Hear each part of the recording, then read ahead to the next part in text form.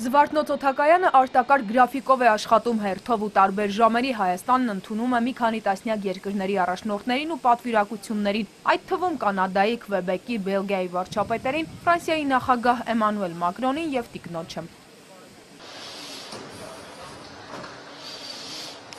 Նախագահ Մակրոնը օթանավակայանից ուղևորվել է հյուրանոց, իսկ այսօր առավոտյան էլ ծիծեռնակաբերդում հարգանքի տուրք մատուցել ցեղասպանության զոհերի հիշատակին։ Շրջայց է կատարել Թանգարան ինստիտուտում ու Եղևնիների պուրակում ծառ տնկել։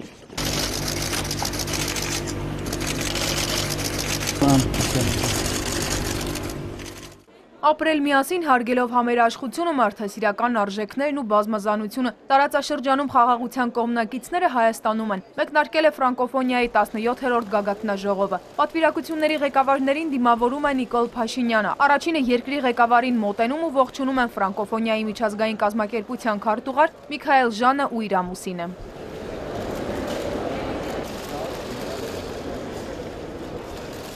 Կարմիր գորգով անցնում են գագատնաժողովի մասնակից երկրների ղեկավարներն ու պատվիրակությունները Հայաստանի պատմության մեջ առաջին ամենախոշոր ու աննախադեպ միջազգային իրադարձությանը մասնակցում է 84 երկրի պատվիրակություն եւ 38 երկրի ղեկավար։ Հյուրերի դիմավորման արարողությունից հետո երկրների առաջնորդները լուսանկարվում են։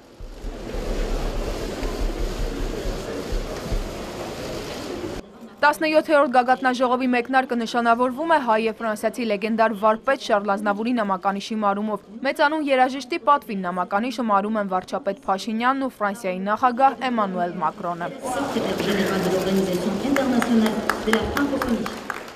Գլխավոր շեշտադրումներն արված են հյուրերը տեղում ֆրանկոֆոնիայի մասնակիցների համար էկրաններին ցուցադրվում է Հայաստանի մասին պատմող տեսաշար։ Դրանից հետո միայն բացման խոսքով առաջին ելույթը Փաշինյանին է վստահված։ Կառավարության ղեկավարը սկսեց նախ Շարլ Ազնավուր մեծության մասին խոսելով։ Excellences, mesdames et messieurs les chefs d'État et de gouvernement, Այդ մեծ անznավորությունը ֆրանսերեն լեզվի դեսպանը 100%-ով ֆրանսիացի, բայց միևնույն ժամանակ 100%-ով հայ։ Ինչպես ինքն էր սիրում ասել, այնքան կցանկանար այսօր մեր կողքին լինել, որպես նվիրվածություն երկու երկրների ու նշանավորելու ֆրանկոֆոնիայի տոնը, որին ծառայում էր ամբողջ կյանքում։ Մենք սգում ենք, որովհետև սիրում ենք։ Լինելով մեր դեսպանը միջազգային մարմիններում, նա բարձր է պահել մեր երկրի անունը եւ մենք հավերժ երախտապարտ կլինենք նրան դրա համար։ Մեկ րոպե լրությամբ նրա հիշատակը հարգելու փոխարեն առաջարկում եմ ծափահարել մեծ վարպետին։ chaleureux applaudissements.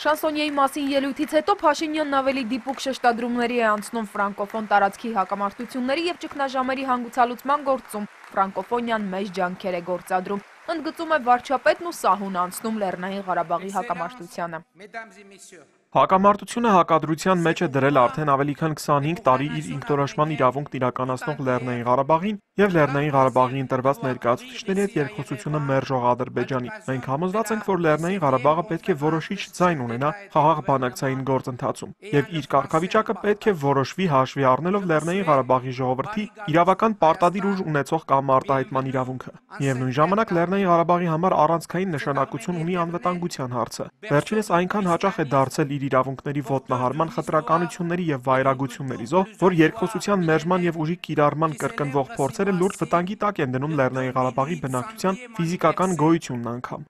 Հայաստան բառը հուզից զգացմունք է արտնասնում ֆրանսիացիների հոգում ֆրանկոֆոնիայի 17-րդ գագաթնաժողովում իր ելույթն այսպես է սկսում Ֆրանսիայի նախագահ Մակրոնը։ Հայաստան բառը հնչեցնելով շատ նուրբ եւ հուզիչ զգացմունք է արտնանում ֆրանսիացիների հոգում։ Հայաստանը կապվում է ազգերի արհավիրքների հետ, որոնք իմ հայրենակիցների մտքերում հիշեցնում են դեմքեր, որոնք Ֆրանսիայում գրավել են կարևոր դերեր։ Նրանք անսահման սիրել են Ֆրանսիան եւ Ֆրանսիան բացել է ձեռքերը այս մարդկանց համար։ Ֆրանսիան եւ ֆրանկոֆոնիան խորհրդանշվում է նաեւ մի ձայնով, երկի հսկա տաղանդով, որը երգում էր մի հատուկ թախիծով, որը յուրահատուկ էր բանդախտության մեջ ապրողների համար։ Բոլորս գիտենք, նա հայ էր, նա երգում եւ պահպանում էր հայկականությունը, կազմակերպում էր օգնություն ցեղասպանության ժամանակ, ճանաչելով ցեղասպանությունը, եւ ես ցանկանում եմ հնչեցնել այդ մեծ մարդու անունը՝ Շարլ Անznավուր։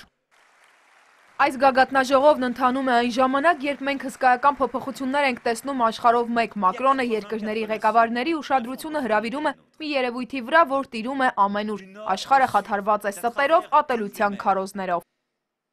Ինչ կարող է անել ֆրանկոֆոնիան։ Այնինչ մենք պետք է անենք հետևյալն է՝ ստեղծագործել մի բան, որը բոլորիս կսթափեցնի։ Բոլոր լեզուներում մենք այսօր ընդունում ենք մի շարք անարդարություններ ուղղված կանանց իրավունքներին, անարդարությանը։ Ֆրանկոֆոնիան պետք է լինի մի տեղ, որտեղ համախմբված սթափության արտահայտություններ կլինեն եւ դրանք միայն բառերով չեն սահմանափակվի։ Տեսներով միջազգային իրադարձությունները մենք չենք կարող կրկնել քաղաքավարի եւ հաճախ կրկնվող բառեր։ Ֆրանկոֆոնիայում պետք է մարտեր մղվեն կանանց իրավունքների պաշտպանության համար։ Ֆրանկոֆոնիան պետք է լինի ֆեմինիստ։ Հյուրերն իրենց ելույթներում շնորհակալություն են հայտնել Հայաստանին միջոցառումը բարձր մակարդակով կազմակերպելու համար եւ նշել 99 թե 9 միլիոն բնակչությամբ թիվն էական չէ Հայաստանը ֆրանկոֆոնիայի լիիրավ անդամ է։ Աիդա Կարապետյան, Էպիկենտրոն։